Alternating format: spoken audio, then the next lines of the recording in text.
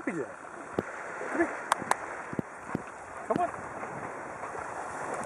Come here.